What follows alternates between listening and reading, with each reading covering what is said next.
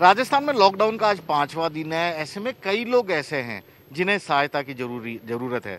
सरकार अपनी ओर से लोगों को, जरूरतमंद लोगों को खाना तो मुहैया कराने की कोशिश करी है, लेकिन ये जो परिंदे हैं, खुले आसमान में उड़ने वाले, इनकी देखभाल करने वाले भी कुछ लोग हैं जो कि अब इन्हें अपनी ओर से यहाँ देखिए दाना खिला रहे हैं। और ये परिंदे एक सबक दे रहे हैं कि आप भी घर में बैठे रहिए। इसी तरह जैसे ये लोग यहाँ पर बैठे हैं इधर उधर नहीं उड़ रहे। तो इनका सबक काफ़ी बड़ा है इनके लिए व्यवस्था भी हो रही है। ये भाई साहब इनको दाना दे के गए। भाई साहब क्या आप हर रोज आ रहे हैं यहाँ दाना बिल्कुल यहाँ सर हर रोज आ रहा हूँ मैं दाना डालने के लिए। हाँ जी। तो कोई प्रॉब्लम नहीं हो रही है इनको देने की नहीं नहीं कोई प्रॉब्लम नहीं हो रही। जितने बहुत से लोग आ रहे हैं दाना डालने के लिए इनके पास कोई प्रॉब्लम नहीं हो रही। कोई प्रॉब्लम नहीं हो रही। है इस तरह के लोग कई लोग हैं जो सहायता के लिए आगे आ रहे हैं। वक्त की ज़रूरत है कि जिस तरह ये परिंदे यहाँ बैठे हैं शांति से बैठे हैं ज़्यादा इधर उधर उड़ने की कोशिश नहीं कर रहे।